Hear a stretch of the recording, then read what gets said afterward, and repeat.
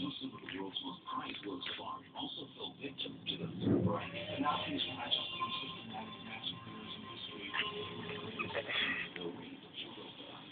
One National Geographic Channel series reveals the deadliest creatures on Earth.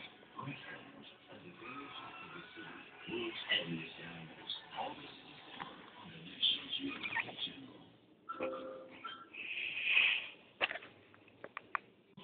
Antibacteria for your health.